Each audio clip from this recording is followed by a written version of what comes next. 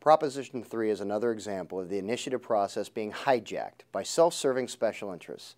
Using sick children to tug at the heartstrings of the voting public is shameless in the extreme.